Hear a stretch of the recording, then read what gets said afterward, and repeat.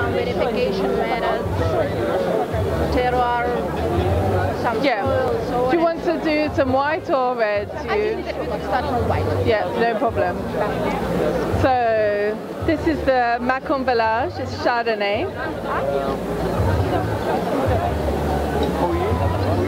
And for for each of our uh,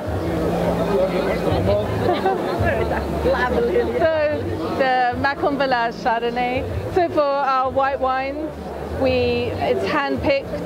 Um, the vineyard is an organic vineyard, and we are um, pressing the grapes and then putting the juice straight into oak barrels. We're, we're using we we're using a mixture of new and old. So, but this this wine, we maybe uh, 10% or less is new oak, new oak, and the rest is very old. But we use large format barrels. So normally in Burgundy we are using 228 liters, but we are using 300 to 600 liters. So the amount of oak to wine is less. So, And about yeasts, it's all, oh, all natural. Yeah, it's all natural yeast. So. Um, oh, absolutely, yeah.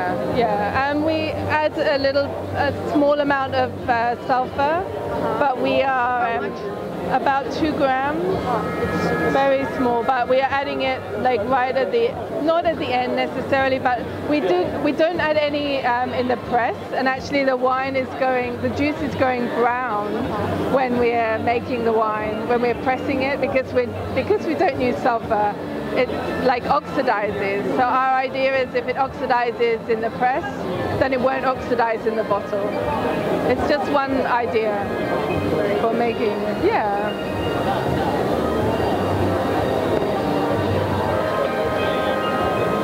What next? So we can try uh, one of the wines from Beaujolais. So this is uh, Fleurie Poncié. So Fleurie is the, the appellation and Poncié is the name of the vineyard. So it's Gamay? Gamay, yeah. So we is in Burgundy, but we are allowed to make Beaujolais and Burgundy. So that's what we do, and we are using this is a we're following Jules Chauvet. He's one of the the very traditional first natural winemakers in France. We are following his recipe for this wine. And so it's a Secret recipe. no, it's not secret. He actually he wrote a lot of books about it, and so we are like reading his research and his books to try and follow it a little bit.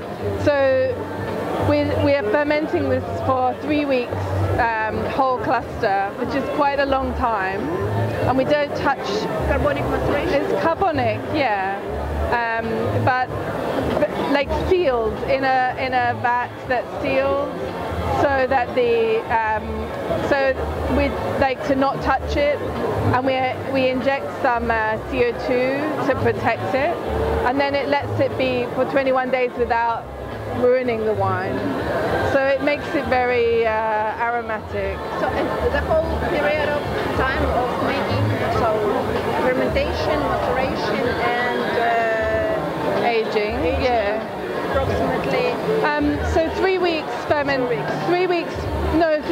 fermentation, and then we press, um, and then in gamay malolactic fermentation normally happens really quickly, um, and then um, and then we go into uh, a very a very large uh, a very large wooden tank for aging.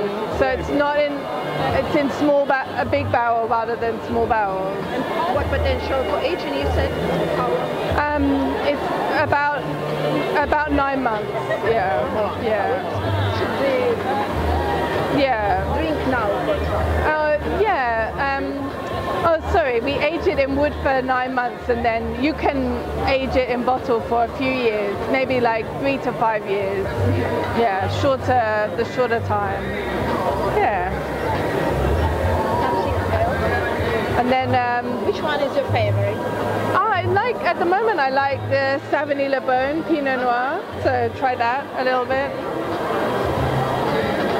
because it's um, 2017. It's quite a good. It's a nice vintage for drinking straight away. So 18 was too hot, yeah? 18 is quite hot. Um, I think it will be good, but it's for, for Pinot Noir. It's still not. We haven't released our 18 yet. Um, 17, it was hot in the summer, but then a little bit cool before uh, cool before the harvest. So it makes it very fine and quite light. And I mean, it's lovely to age Burgundy, but it's also good if you can drink it now, right? So yeah. Yeah. Yeah. You can see as well, yeah. What is your favorite comparing with organic wine, and wine pairing. Oh. Some I mean, for me, we have quite a range of wines, so we can find different things for. maybe something you know special. You some I, I don't know. like, For example, some uh, cognac with oyster or Yeah. something like this unusual. Yeah, Maybe we have something local cuisine with some. I, I mean, my favorite thing to eat is pork, and I think Pinot Noir and something, yeah, is, is a good one. Yeah. It's not yeah, not something special, but it's always perfect. yeah, but it's a good pat. It's a good match. Yeah. Cool. Oh, thank you. Thanks for taking. Nice wine. Really